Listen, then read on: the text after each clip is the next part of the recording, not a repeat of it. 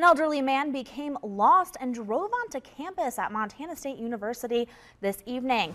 According to Sergeant Randy Schmautz of the MSU Police Department, the man had driven off-road onto a pedestrian walkway near Montana Hall and couldn't find his way back out. He attempted to drive slowly down some stairs when his foot slipped off the brake, causing him to crash at the bottom of the stairs.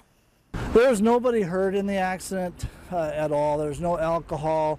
There's not going to be any charges uh, for him or anything like that. We had a number of witnesses and they all said he was driving real slow, so there wasn't anything excessive for us to be concerned about. After the crash, the man returned home with his van.